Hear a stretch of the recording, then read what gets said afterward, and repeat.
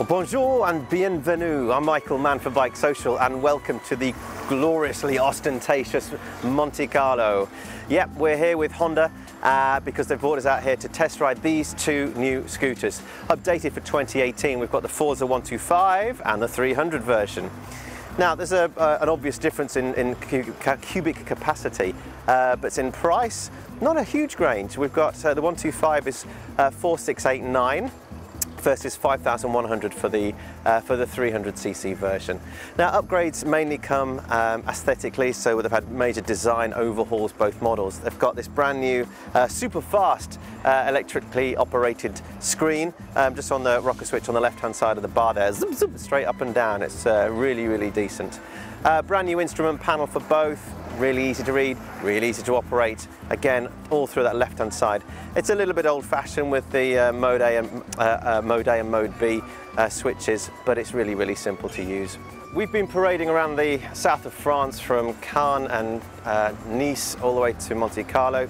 Um, just to find out what these scooters are like. Uh, they've both got sporty ability, touring ability, uh, they dart in and out of the traffic perfectly because the, you know, dimensionally, they're, while they're quite long and quite prestigious in their build quality, but also um, in their ability to get through traffic. It's, you know, it's almost like the ideal uh, town commuter, both the 125 and the 300.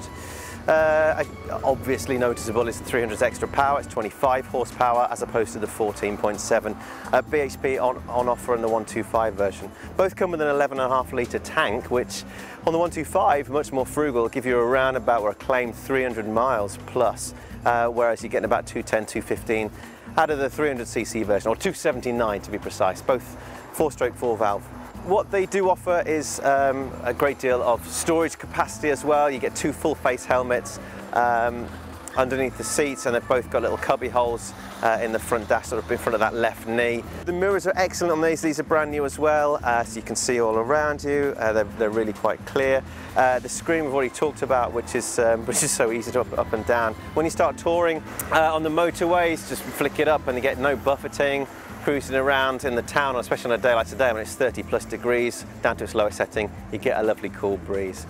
No, they're great for darting around town. They come with optional um, top boxes and there's little wheel graphics, heated grips if you want them as well. Uh, you can read the full review at bikesocial.co.uk.